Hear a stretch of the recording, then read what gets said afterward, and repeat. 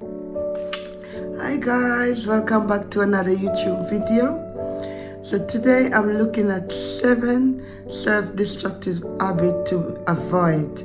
Alright, so before we get into the video, please remember to like up the video, comment on the video, and to subscribe to the channel. So let us jump right into the video. So the first self-destructive habit to avoid is comparing yourself with other people.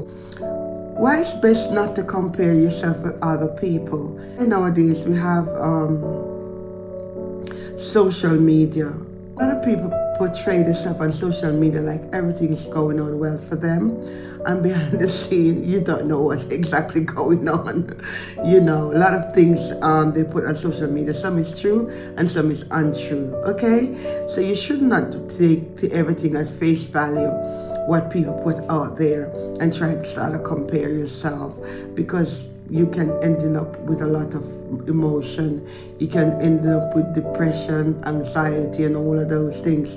And why it's best not to compare yourself with other people. Some people, family are well off. Some people come from different background where their family is more upper class. Some people family are lower class. You know, and everyone is not equal. You know, everybody's individual. And some people have more support. So when you start to compare yourself from with other people, a lot of things can you know start up in that area.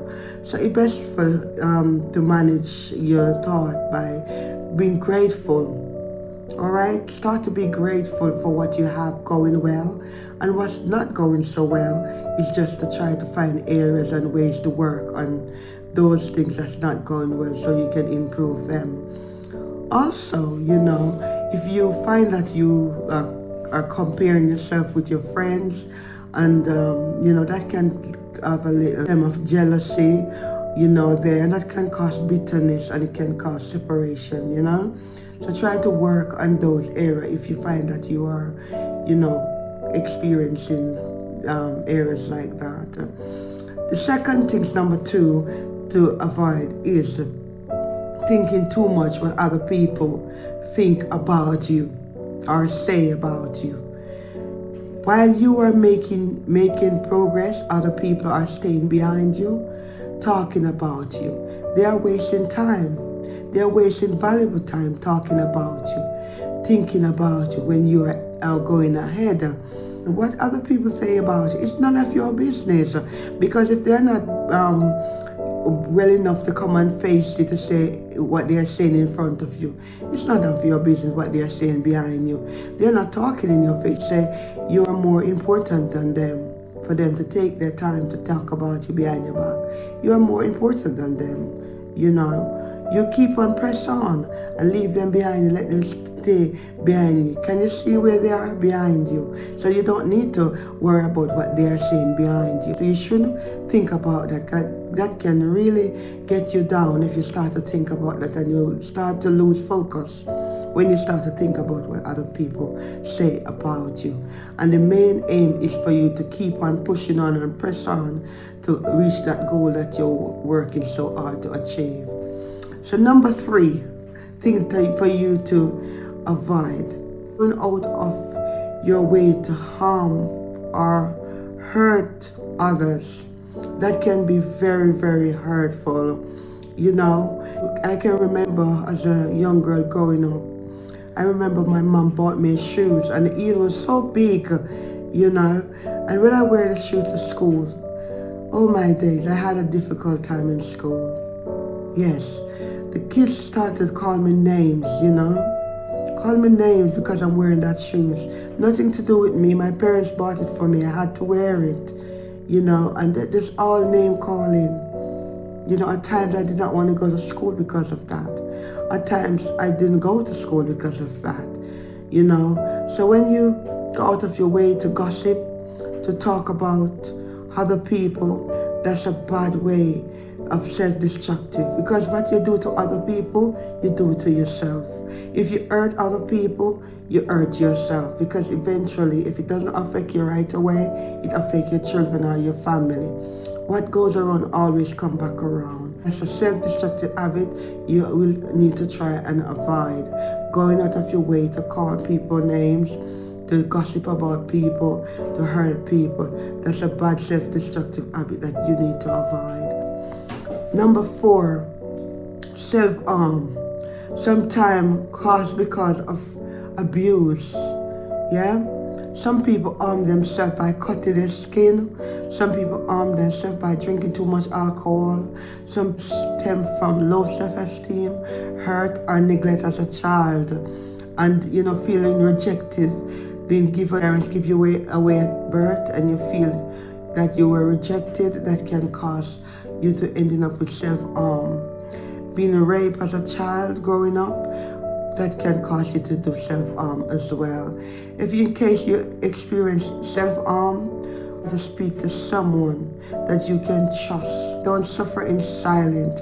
It's very important and vital for you to get that necessary help that you deserve. It's not a crime for you to be experience self-harm.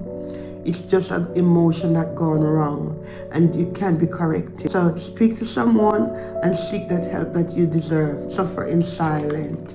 There's help out there, lots of help out there for people who are going through self-harm. All right? So the fifth self-destructive habit to avoid is physical neglect. Yes? Physical neglect, like when you don't want to have a bath, you don't want to brush your teeth, you don't want to wear clean clothes, you don't want to cut your nails, you don't want to comb your hair, you know, that's self-destructive habit to avoid.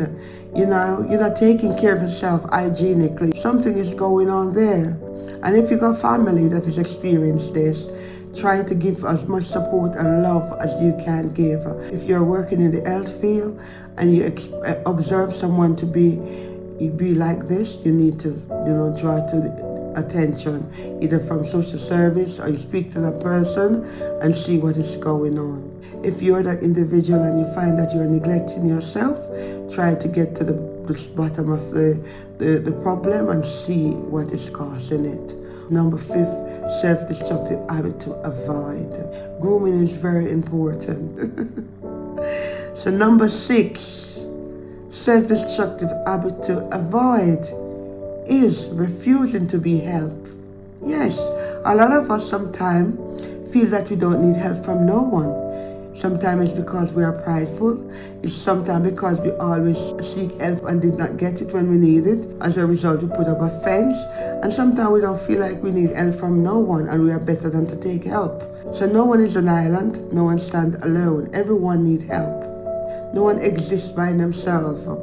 So if you're going through that phase right now, it's an opportunity for you to look back and evaluate it. You can take help from someone sometimes. Even if you're a very independent person, at times you can step back and take help from someone. It's normal. So the seventh self-destructive habit to avoid is unnecessary self-sacrifice. Sometimes we want to help everyone and we like to say yes. As someone says something, we say yes. We don't think about the consequences. We don't think about what it may cost us, what if it's gonna hurt anyone, it's gonna cause harm in the long run. We just say yes, especially we overseas, when our friends or relatives call us and say send this or send that. We don't think about the bills that we have to pay here. We don't think about the things that we need to do be ready to say yes. And many of the time we are going out of our way. I remember when back in the days when I, you know, just give my life to the Lord. And people would say, oh, I'm going to Birmingham. And I take up my car and I'm driving all the way up to Birmingham. I'm not taking thinking about the petrol. So because I like to say yes, but as a result of those behavior, it later trained me to know when someone asks me to do something I think about it before I give an answer. And if I'm not sure, I will say to the person, let me think about it and I'll get back to you. Sometimes we are going out of our way to help. It is good to help, don't get me wrong. But it should be a help that we can afford to give, not, not we get going out of our way to do it. These are my seven self-destructive habits to avoid. I hope you like my video. I hope you comment and I hope you subscribe to my channel. And if any one of these habits that I mentioned that you are experiencing, please stop and evaluate yourself and seek help if you really need help. Guys, remember God is love. Peace out. Remember to like, to share, and comment and subscribe to my channel.